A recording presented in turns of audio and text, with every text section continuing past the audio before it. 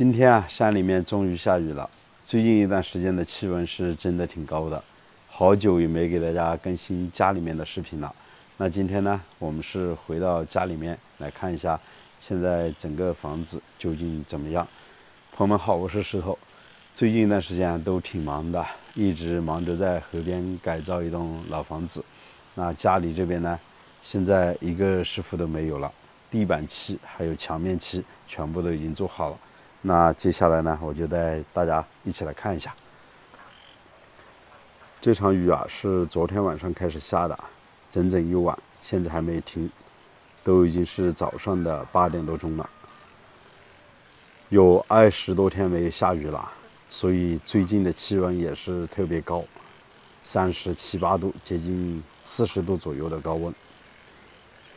这边的玉米啊，也快可以收割了。再过十天左右吧，应该差不多了。这边的稻田里面，稻谷都已经抽穗了。看来啊，今年又是一个丰收的季节。这场雨是及时雨，下的非常好，要不然稻田里面的水啊都干了。现在我们是站在凉亭里面，这处凉亭建好了之后，木匠师傅就回家了。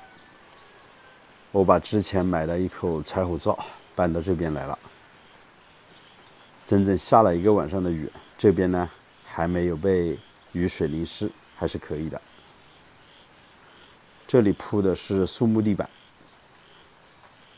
因为没有装螺丝钉，所以呢它的接头位置是有点点嗯发生变化的。后期呢我们要重新给它处理一下，装上螺丝。之前我们是直接铺在这个混凝土上面，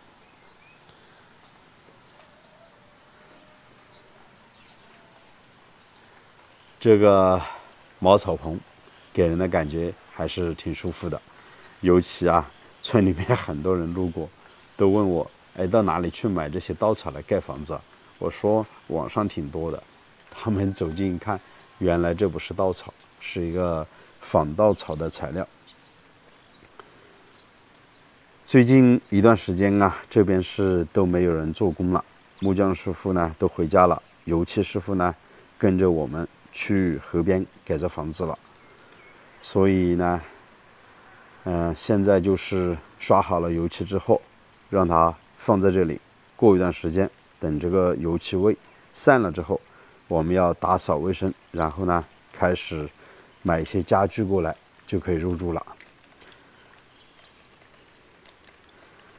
这边的塞壁啊，打磨之后上了油漆，还是挺亮的，对不对？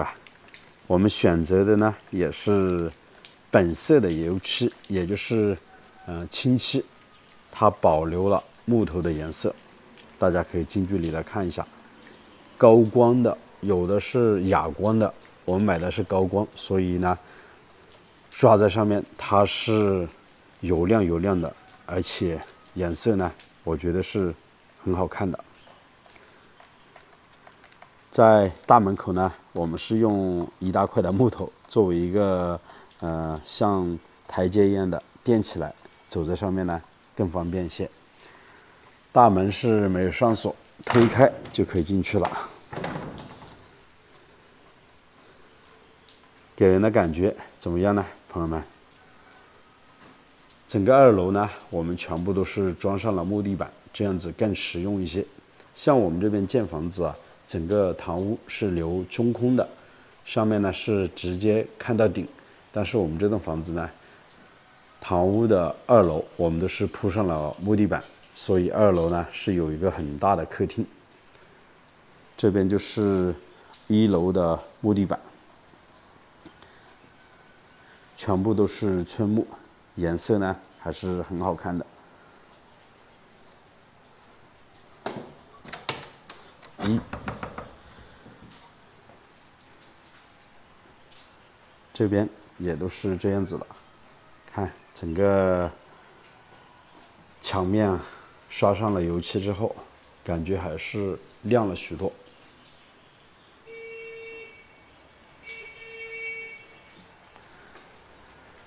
这个塞壁啊，我们打的是木条子，这样子格子来做的，啊，现在玻璃还没有装啊，现在是主要让这些油漆散一点气味。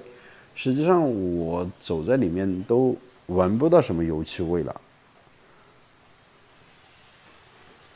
最近一段时间啊，实在太热了，这些木头啊还是有一点点退了，意思呢，也就是，呃，出现了一些缝隙。你看，这个位置啊，都出现了一个比较大的一个缝隙。当然，这是一扇门啊，但是门和门之间呢，这个缝隙之前是没有这么大的，现在已经退了这么多了。木房子啊，最难解决的就是这个问题了。这是全实木的房子，我们是从城里面买的主体，总共是花了七万五千八，整个木架子，然后呢，做了地基，盖了瓦，啊，差不多花了一十三万多。等了一年多之后，我们就开始装修房子，嗯。装修房子的费用呢？木板差不多用了七万到八万左右，工钱呢也是六七万。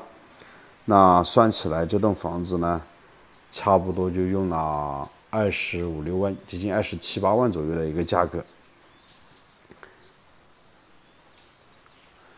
哦，这边的木板退的也比较多啊，看。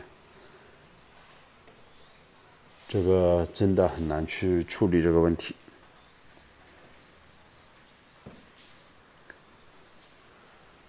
其实像农村这样子建房子啊，很多人呢喜欢在房间里面再包裹一层那个嗯桑拿板，这样子呢就看不到这些缝隙了。但是我觉得毕竟是人工做的吧，都是难免会有这样的现象。哇，这个缝隙也挺大的。这是热胀冷缩的一个原理啊。一楼呢，我们是有三个房间，加上一个公用的卫生间。这是背后的一个小房间，我就大概给大家看一下吧。这是一个公用的卫生间。这背后呢也有一个房间，现在这里面的灯啊是全部关了，因为房子没人在家嘛，都没有通电。这个房间是很暗的，因为只有这背后的一扇窗户。这个窗户呢也没有留多大，但是这个房间呢是有个独立的卫生间，我们是做了一个干湿的分离，这边是一个马桶。这是一个洗脸的盆子，走到二楼给大家看一下。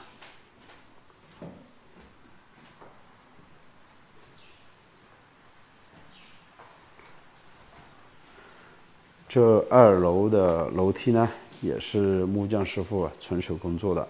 先来看一下这个，呃，储物间吧。哎，这是一个。楼梯间下方的储物间，我们就是用木板做了一扇门，这样子。哎呦，这个也退了很多，之前我记得没有缝隙的。这边呢还做了一个储物柜，嗯，并且呢是做了几个隔断，可以放被子。嗯，给它这样子关上吧。这栋房子目前呢，嗯，灯线还有水，我们全部都已经提前做好了，但是这里面的灯还没有接。从这里走上二楼，二楼呢是有四个房间，一个公用的卫生间。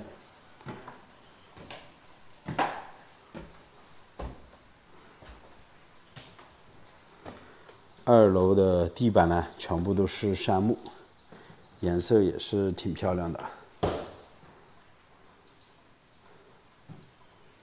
顶上呢，我们是用桑拿板做的吊顶，颜色比较接近这些实木的杉木。这里是做了一排的柜子，可以摆放一些东西。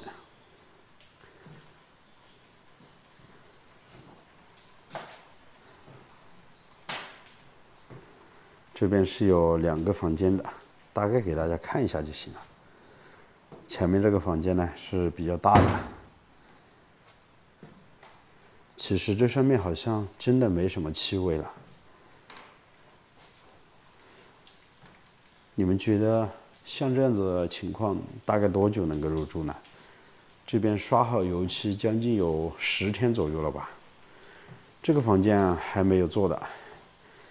一直都是这样子，因为泥工师傅呢出去了，还没回来。这前面呢也是一个小房间，当然这个房间比背后的呢要大一些。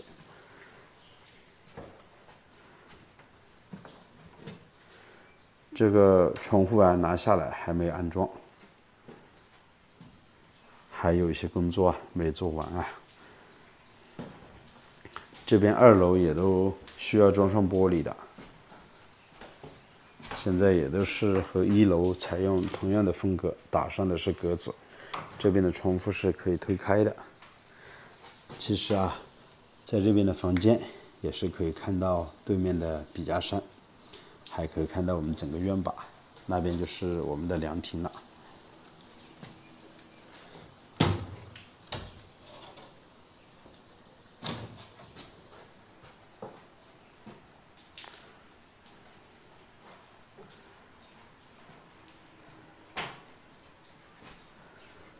整个木房子呢，就是这样的一个情况，有优点，有缺点。那基本上优缺点我都给大家说了。嗯，木房子呢，它做出来之后会有一些小缝隙，而且呢，嗯，不完美的地方也很多。但是它最大的好处呢，就是干燥舒适。人上了年纪。住在这样的木房子里面，它对身体是比较好的，因为大家都知道吧，长时间在潮湿的一个环境，对人体它是不怎么好的。但是木房子呢，它就很好的解决这个问题。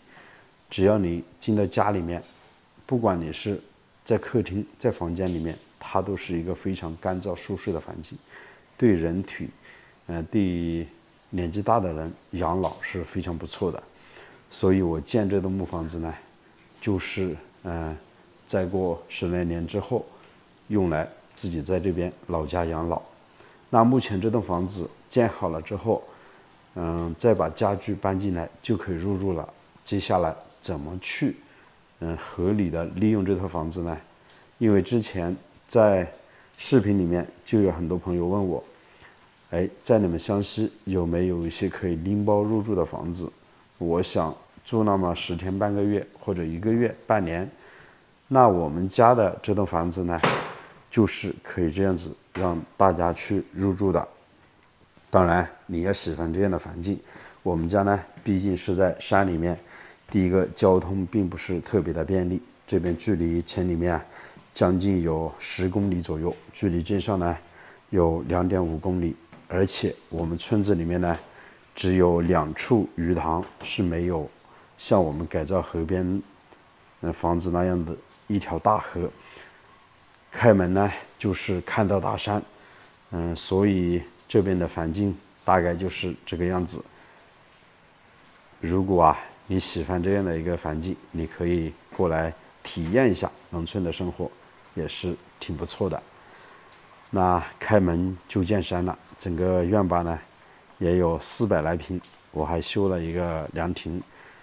嗯，有些朋友呢，我们可以带上自己的家人，在院坝里面煮煮饭，还可以体验一下农村的生活。好了，说了这么多，就暂时为大家分享到这里吧。我是石头，喜欢我的视频啊，还请记得点个关注。我们下期再见，拜拜。